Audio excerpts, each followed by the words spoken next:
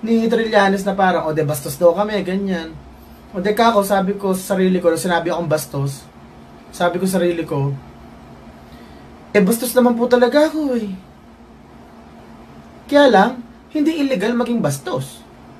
ba? So, nili- lilinawin ko ha, bastos daw ako.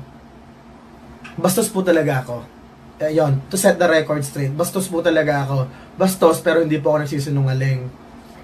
Tapos ngayon, de, yun, dumating na yung panahon na hindi man lang ba ako daw magsasorry sa picture namin kay ano, Leila de Lima na opisina. Tapos sinabi ko, eh, ba't ako magsasorry? Gago ba ako? Eh, masaya kami nakadetain siya. So, eh, kayo ba, plastikan tayo, ano sa 15,000 na nanonood ngayon? Hindi ba kayo masaya na nakadetain si Leila? Wow ha, plastikan. Kasi mga te, ganito. Marami kasi hindi nakakaintindi kung saan ako humuhugot ng kapal ng muka.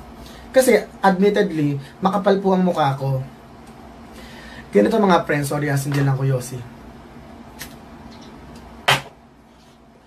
Kasi ganito, makapal yung mukha ko kasi wala na po akong pangarap. Wala na po akong pansariling pangarap. Kasi mga friends, mababaw lang ang pangarap ko sa buhay. Una, pambayad sa kuryente. Pangalawa, pambayad sa tubig. Pangatlo, pambayad sa internet. Pang-apat, Dota. At saka bathtub. Yun lang, lima lang. Ba- ba- nga, tatlo lang yun eh. Number one, pambayad sa bills. Pangalawa, Dota. Pangatlo, bathtub. Paminsan-minsan lang yung bathtub ha, hindi palagi. So, pambayad lang sa internet, ay, pambayad lang sa bills, tsaka Dota. Kasi, mga friends, sabihin na natin na ano, nung bata pa ako, nung, nung, nung college pa ako, tsaka high school, marami akong pangarap sa buhay, kaya lang walang nangyari kasi nga, nagkandabuli-bulilyaso buhay. So, natutuwa ako na ano, mabuhay sa hirap. Yung mabuhay sa wala. Yung hanap ako ng paraan sa sarili ko. Tapos, nung nakara- nakaraos na ako sa paghihirap, nung medyo umangat-angat na, yung, yung lumuwag-luwag na yung buhay ko, dumating na ako sa panahon na na mamasyal na ako sa ibang bansa, piso per nga lang, pero namamasyal pa rin. Salamat po sa Cebu Pacific, kahit po basura yung mga aeroplano ninyo, napakamura naman po ng pamasahe. Kaya po magtitiis na lang po ako ng stranded ng 2 hours sa tarmac. Kasi at least 1,000 lang po ang ano, Manila, Singapore. Parang gano'n. So, nakakapamasyal na ako noon. Tapos, naisip ko, kahit ka ako, hirap ako noon, uh, nakakapamasyal ako. Meron ako na, na, ano, na, swerte na luxuries. Tapos sabi ko, madami sa mga Pinoy, hindi, ano, hindi nag enjoy ng same na, hindi kasing swerte ko. Kaya nung nagsawa na ako mag-travel, nung mga tipong pangatlong beses ko na sa New York noong 2014, kako sa sarili ko, parang tigil ko na nga muna to. Ano na lang, tumulong na lang ako sa bayan kasi nakonsensya ako eh. Kaya ako inumpisan yung tinging Pinoy. Kasi kako, nakompleto ko na yung pangarap ko sa buhay, ang babaw lang. Oo, nagdodota ako 2003 pa. Kasi kako, nakompleto ko na yung pangarap ko sa buhay. Kasi ang babaw lang ng, sobrang babaw. Ito mga friends, pag sobrang, ang, ang, ang advantage ng mababaw ang pangarap, madali siyang abutin. eh, ang babaw na ng pangarap ko eh. Alright. So, kasi actually mga friends, kung magpa-file ako ng SALN ngayon, ang SALN ko pa wala pang 1 million. Actually, wala pa yatang 500,000. SALN nyo na lahat. Okay, tuloy natin. Ah, sabi ko, para tumulong na lang sa bayan. Eh ngayon, syempre, iba-iba tayo ng pananaw sa politika. Merong pro-Duterte, may anti-Duterte, may pro-yellow, may dilaw, asul, orange, pula, green, indigo, violet. Kompleto yan. Pero, ang ano ko kasi sa buhay, basta hindi ako kumukontra sa konsensya ko, gagawin ko. Eh ngayon, sabihin natin na pro-Duterte ko, sige, baka sa ibang tao, mali ang maging pro-Duterte, pero sa konsensya ko kasi hindi eh. Gets nyo? Kasi sabi ko, kung kailangan natin, kung sisiguraduhin lagi natin na what we do is absolutely right, hindi tayo uusad. Hindi uusad ang buhay. Magmaaano tayo, maa-analysis paralysis kamukha nung nangyayari kay Mar Rojas. Nalintik na yan, inutil din naman. So, ang gagawin na, ang gagawin na lang nating guide, konsyensya. Pag hindi ka nakukonsensya sa ginagawa mo, gawin mo. Pag, kahit, pag hindi ka nakukonsensya, kahit natatakot ka, gawin mo pa rin. Kasi ang pinag, pinagdadraman yung mga dilaw na yan, Ang pinagdadrama ng mga dilaw na yan, kesyo, ano ba to? Bashing daw online, ganyan, doon sa mga anti-Duterte, yada. Sa palagay ba nila, hindi tayo nababash? Mga te, libo-libo ang nagbabash sa akin araw-araw.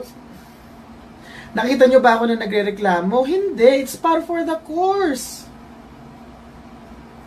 O, oh, eto. Tapos yung Senate hearing. Bilisan natin na kasi lalamig yung chicken joy ko eh. Dali lang po ang gugutom talaga ako, kagat lang ako isa. Hindi pa po talaga ako kumakain eh. Tsaka po, yun pong mga mahilig sa puwet ng manok, ire-reserva ko po. Kasi po eh no, may puwet ng manok. Hindi po ako makain ng puwet ng manok eh. Hindi lang. Uli. Baka. 20 seconds.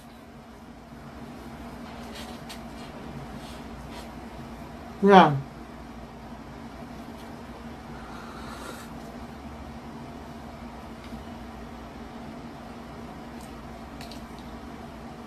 Yan. Lapit na.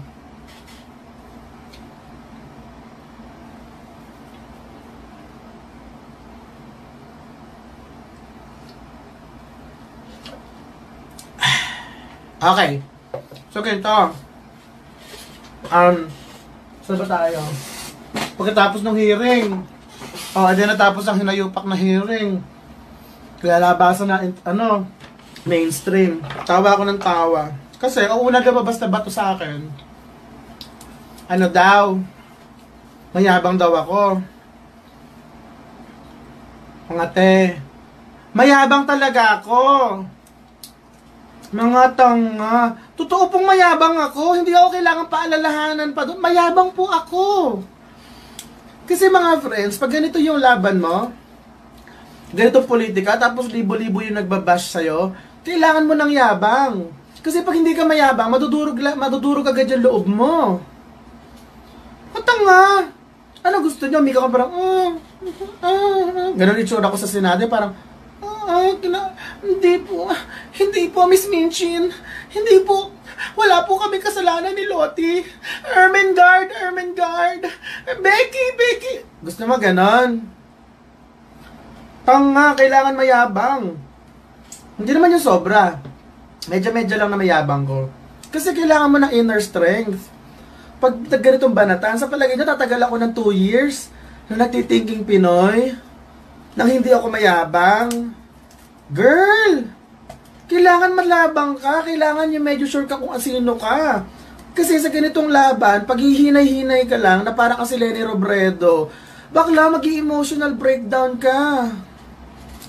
Diyos ko. Okay, tuloy tayo. So, yun yung unang patama. Yung pangalawang patama naman, yung sa BCDA. Yung meron daw akong consultancy contract. Ngayon naman, eto yan yung, nung, nag, nung pinoproseso yung kontrata ko sa BCDA, kasabay yun na pinoproseso ng kontrata ko sa DFA. Tapos parang, hindi pa sure kung saan ako pupunta, kung DFA ba o BCDA. O eh ngayon, nilabas nila yung kontrata ko sa yung notice of award. Tapos, nakalagay doon, may sweldo daw akong 30 mil, ganyan. Ang problema mga ate, notice of award lang yon. Hindi po yung notice to proceed. Kasi po ganito yan. Una, notice of award. Ibig sabihin, okay, may pwede ka ng, pwede, ano, inawardan kita ng kontrata. Ang tanong, tatanggapin mo ba yung award? Doon papasok yung notice to proceed. Kailangan pirmahan ko yung notice of notice to proceed. Hindi ko to pinirmahan. Bakit? Kasi sa gitna ng pagpirma, yung yung time frame sa gitna ng notice of award at saka notice of notice to proceed, nasa gitna. Doon ako pumasok sa DFA. Kaya hindi ko tinanggap. Gets nyo? Kaya hindi ko tinanggap kasi kaya ko pa, hindi ko naman sa, hindi, kaya ko nang sabay. Pero delikadesa lang. Parang sabi ko, sige, nag-cover na lang ako sa, ano, nag-cover na lang ako sa, ano ng libre, sa BCDA. Pero kasi masamang tingnan. Tsaka respeto lang din sa mga government officials na, alam mo yun, naghihikahos. So, pero syempre, ang mga news outfit, hindi naman tinanong yung side ko. Putang ina, nasan yung pinagyayabang yung mga putang inang ombudsman, internal ombudsman na putang inang yan. Alam ang lakas magplastika ng mainstream eh. Alam mo, may bullshit silang sinasabi no sa Senate na internal ombudsman, girl. Ganito yan. Sinabi nila, meron po kami mga internal ombudsman na nag-check ng mga paglabag sa aming code of ethics.